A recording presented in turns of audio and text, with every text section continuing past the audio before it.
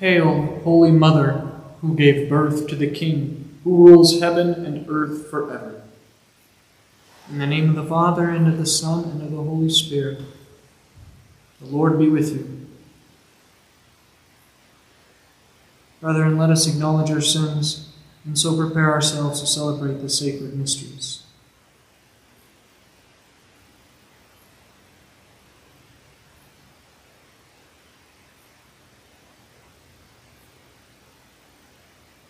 I confess to Almighty God and to you, my brothers and sisters, that I have greatly sinned in my thoughts and in my words, what I have done and what I have failed to do. Through my fault, through my fault, through my most grievous fault. Therefore, I ask the Blessed Mary, ever Virgin, all the angels and saints, and to you, my brothers and sisters, to pray for me to the Lord our God. May Almighty God have mercy on us, forgive us our sins, and bring us to everlasting life. Amen. Lord, have mercy. Christ, have mercy. Lord, have mercy. Let us pray.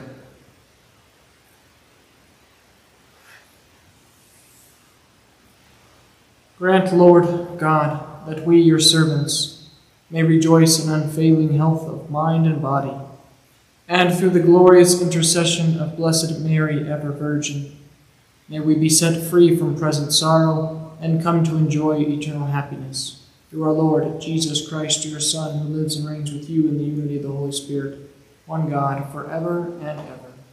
Amen.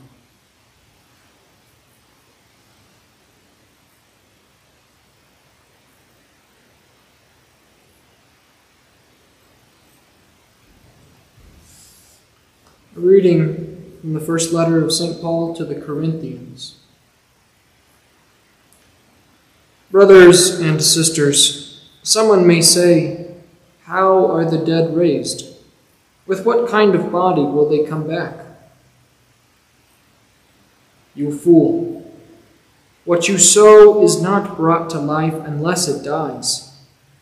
And what you sow is not the body that is to be but a bare kernel of wheat, perhaps, or of some other kind. So also is the resurrection of the dead. It is sown corruptible, it is raised incorruptible. It is sown dishonorable, it is raised glorious. It is sown weak, it is raised powerful.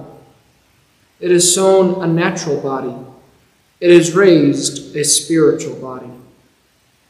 If there is a natural body, there is also a spiritual one. So too it is written The first man, Adam, became a living being, the last Adam, a life giving spirit. But the spiritual was not first, rather, the natural, and then the spiritual. The first man was from earth, earthly. The second man from heaven. As was the earthly one, so also are the earthly. And as is the heavenly one, so also are the heavenly. Just as we have borne the image of the earthly one, we shall also bear the image of the heavenly one. The word of the Lord. Thanks be to God. I will walk in the presence of God in the light of the living. I will walk in the presence of God in the light of the living. Now I know that God is with me, in God whose promise I glory, in God I trust without fear. What can flesh do against me? I will walk in the presence of God in the land of the living. I am bound, O God, by vows made to you. Your thank offerings I will fulfill, for you have rescued me from death, my feet too from stumbling, that I may walk before God in the light of the living. I will walk in the presence of God in the light of the living. Alleluia, Alleluia, Alleluia, Alleluia, Alleluia, Alleluia. Blessed are they who have kept the word with a generous heart and yield a harvest through perseverance. Alleluia, Alleluia, Alleluia.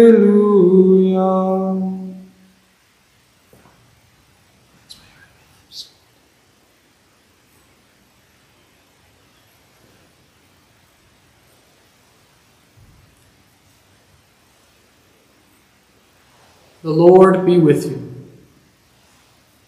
A reading from the Holy Gospel according to Luke.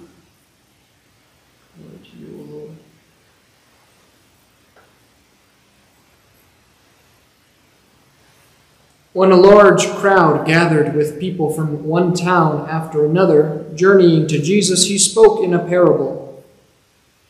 A sower went out to sow his seed. And as he sowed, some seed fell on the path and was trampled, and the birds of the sky ate it up. Some seed fell on rocky ground, and when it grew, it withered for lack of moisture. Some seed fell among thorns, and the thorns grew with it and choked it. And some seed fell on good soil, and when it grew, it produced fruit a hundredfold. After saying this, he called out, Whoever has ears to hear ought to hear.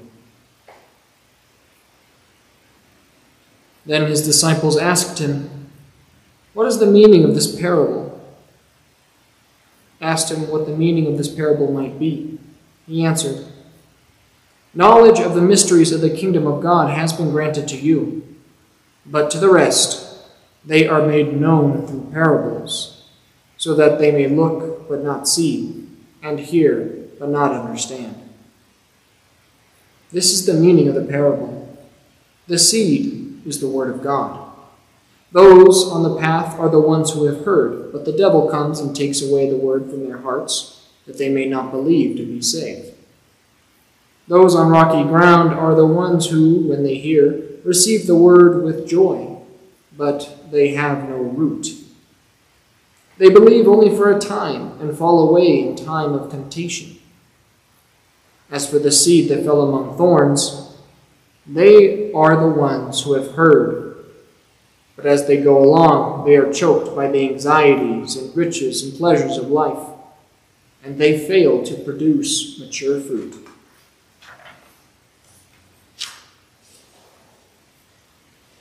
But as for the seed that fell on rich soil, they are the ones who, when they have heard the word, embrace it with a generous and a good heart, and bear fruit through perseverance.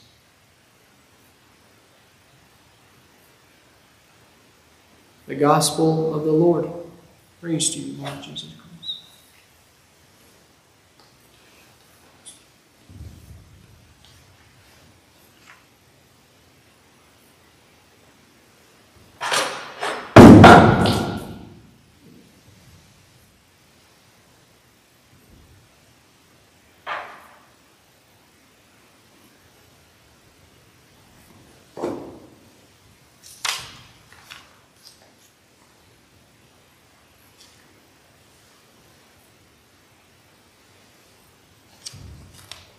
What you sow is not the body that is to be, but a kernel, a bare kernel of wheat. The words that St. Paul spoke in the first reading, describing our current body, body compared to the resurrected body. I want to make sure we understand what he's saying here. Do we understand that we can hardly imagine what awaits us after this frail body dies? After this body is sown into the ground, and after Jesus comes again and raises this body to life, just as the sun raises a stalk of wheat from a dead kernel. The two are so different. A bag of seeds on one hand, and a field of harvest on another. Even more so will be the difference between our bodies and the bodies that we will have in the resurrection. Let us not think that they will be the bodies that Adam and Eve had before the fall, right? Before the fall, they had perfect natural bodies. They were in full control, and as a result, they were truly free to be human. But as great as it would be to have the effects of sin wiped out and we be restored to that natural perfection in the Garden of Eden, this apparently isn't good enough for God. God wants more for us.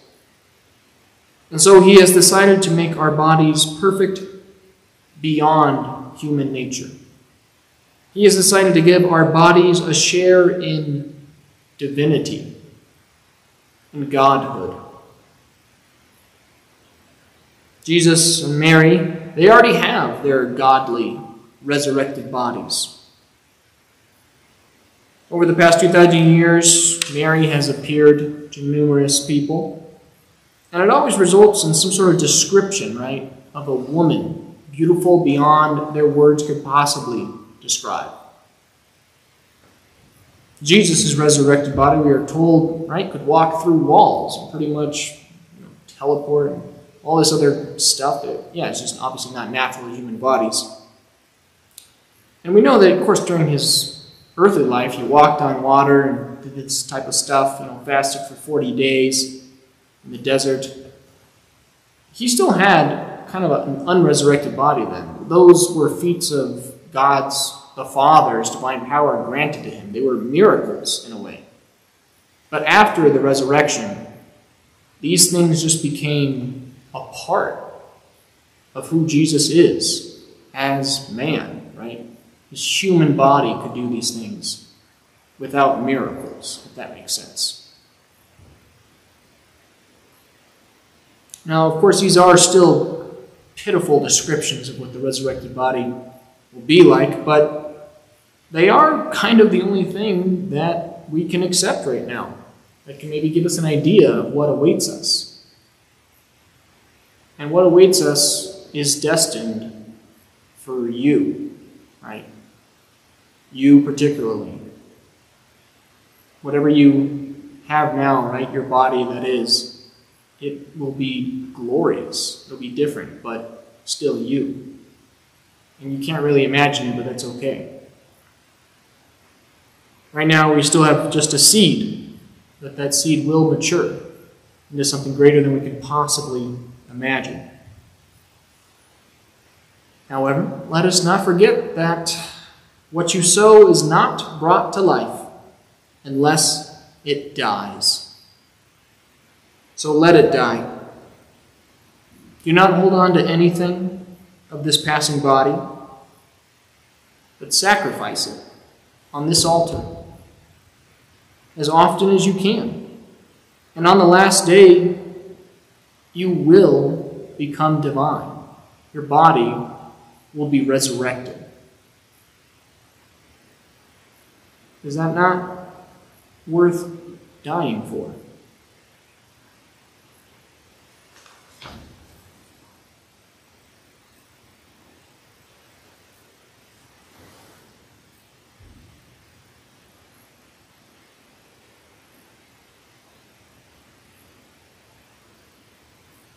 Let us present our needs and petitions to God, our most loving Father, with faith that He will not only hear but answer us.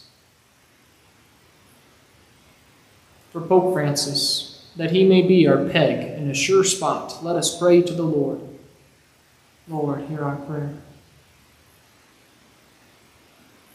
for government leaders, they may work for the common good with the virtues of knowledge, understanding, and prudence, and wisdom. Let us pray to the Lord. Lord, hear our prayer. For this faith community, that we may hope in our resurrected bodies, let us pray to the Lord. Lord, hear our prayer. For all those who will be aborted today, and for their mothers and their fathers, may the Lord heal these deep wounds in our society. Let us pray to the Lord. Lord, hear our prayer. For the souls in purgatory, that through our prayers and penance they may deserve their eternal reward, let us pray to the Lord. Lord, hear our prayer. Hear us, we pray, O God, our most loving Father, we who have been filled with the Holy Spirit. We ask this in the name of Jesus Christ, your Son, our Lord. Amen.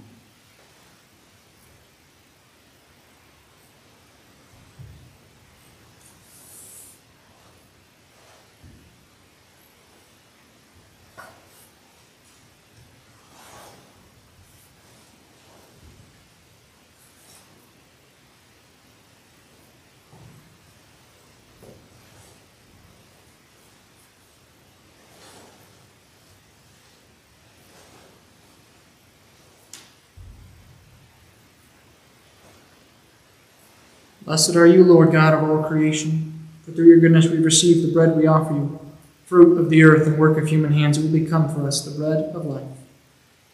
Blessed be God forever.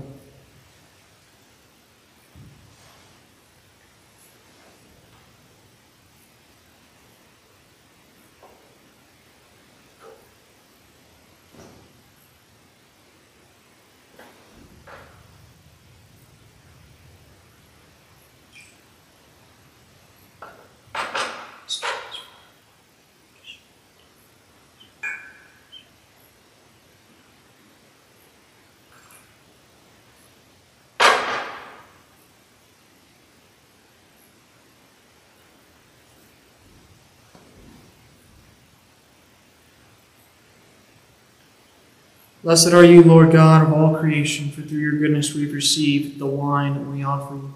Fruit of the vine and work of human hands, it will become our spiritual drink. Blessed be God forever.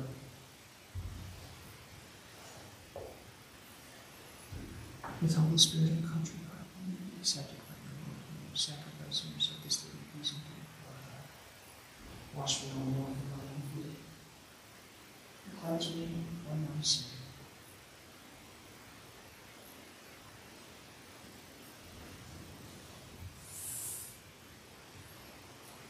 Pray, brethren, that my sacrifice and yours may be acceptable to God, the Almighty Father.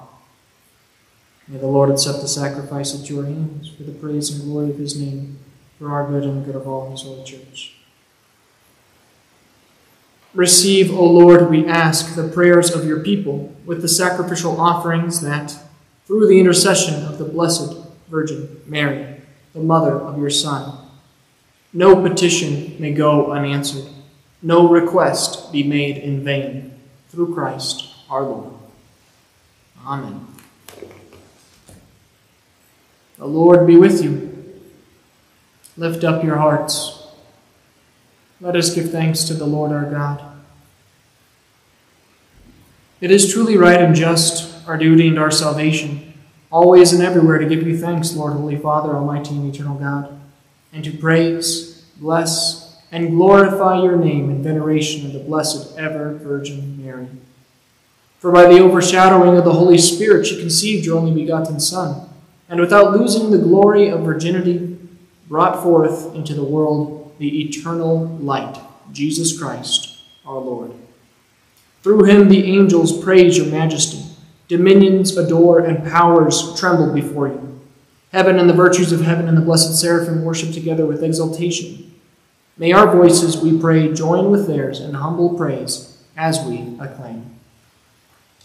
Holy, holy, holy Lord God of hosts, heaven and earth are full of your glory. Hosanna in the highest.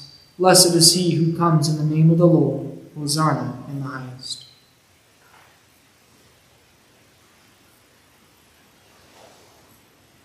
You are indeed holy, O Lord, the fount of all holiness. Make holy, therefore, these gifts, we pray, by sending down your Spirit upon them like the dewfall, so that they may become for us the body and blood of our Lord Jesus Christ. At the time he was betrayed and entered willingly into his passion, he took bread and, giving thanks, broke it and gave it to his disciples, saying, Take this, all of you, and eat of it, for this is my body, which will be given up for you.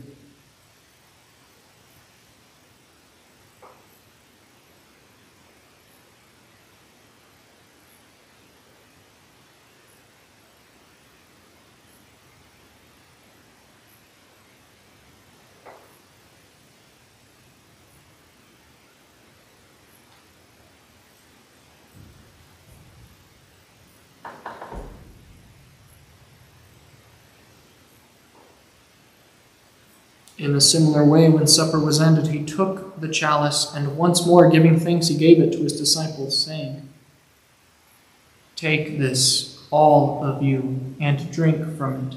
For this is the chalice of my blood, the blood of the new and eternal covenant, which will be poured out for you and for many, for the forgiveness of sins. Do this in memory of me.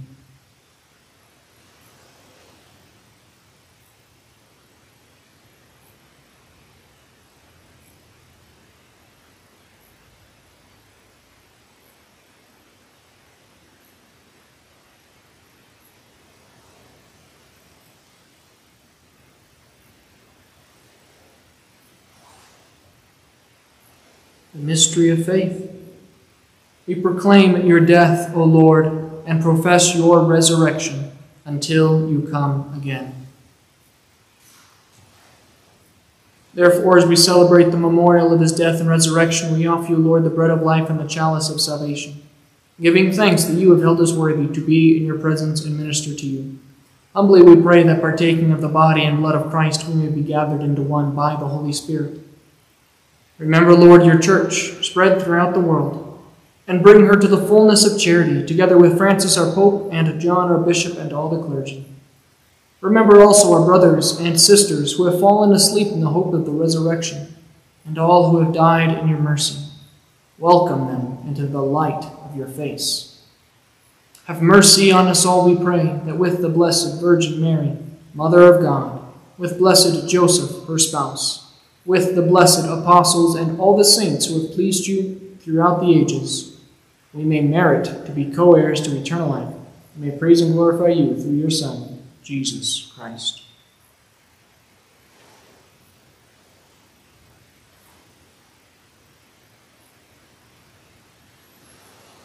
Through him and with him and in him, O God, Almighty Father, in the unity of the Holy Spirit. All glory and honor is yours forever and ever. Amen.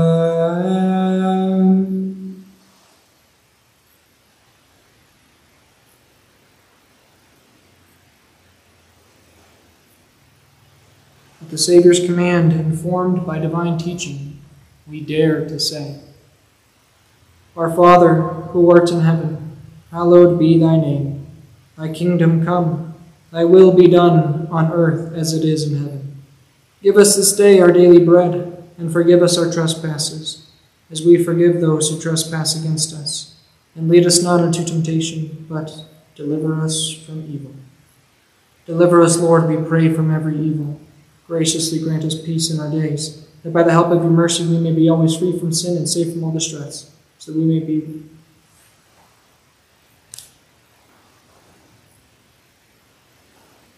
as we await the blessed hope and the coming of our Savior, Jesus Christ. For the kingdom, the power, and the glory are yours, now and forever. Lord Jesus Christ, who said to your apostles, Peace I leave you, my peace I give you, look not on our sins but on the faith of your church, and graciously grant her peace and unity in accordance with your will, who live and reign for ever and ever. Amen. Peace of the Lord be with you always. Let us offer each other the sign of peace.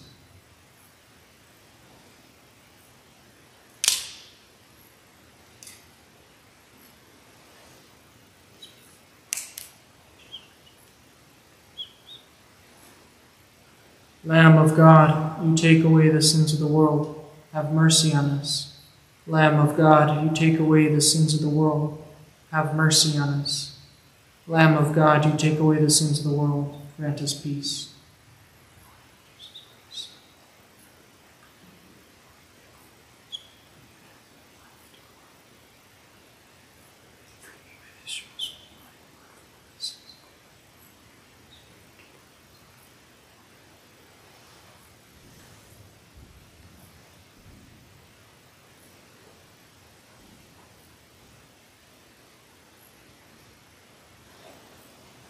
Behold the Lamb of God. Behold him who takes away the sins of the world. Blessed are those called to the supper of the Lamb. Lord, I am not worthy that you should enter into my roof, but only say the word, and my soul shall be healed.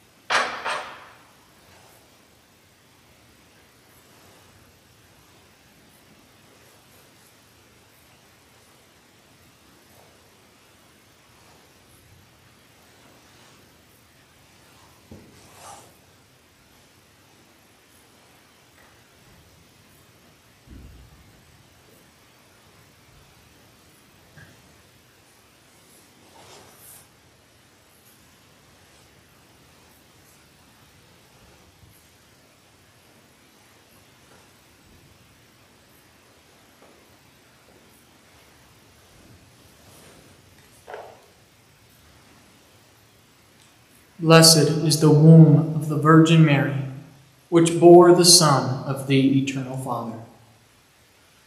Let us make our act of spiritual union. Most Lord and most beloved Jesus, I firmly believe that you are present in the most holy sacrament of the altar. I love you above all things, since I cannot at this moment receive you sacramentally come at least spiritually into my heart. I unite myself to you as if you were already there.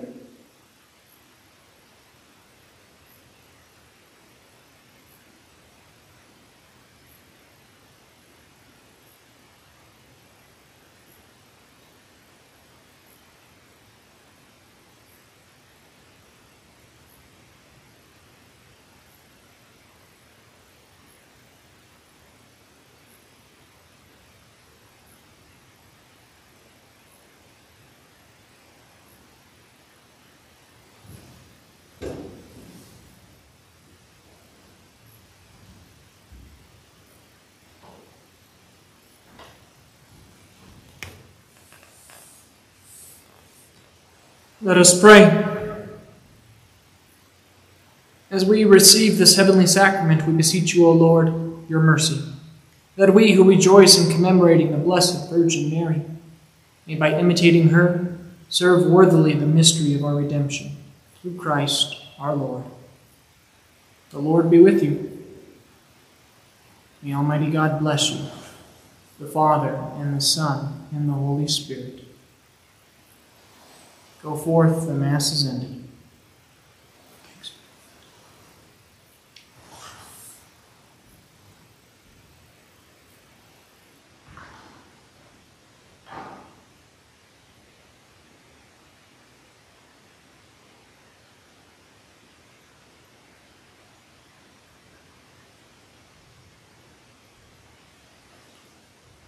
Today's Mass is offered for the living and deceased members of the Knights of Columbus and its benefactors, for the reposed soul of Frank and Josephine Romero, for the departed souls not in heaven, for the repose of the souls of Leo, Leroy, Chico Ramirez, for the special intention of Michael J. Senna on his birthday, for the repose of the soul of Edward Eddie Martinez.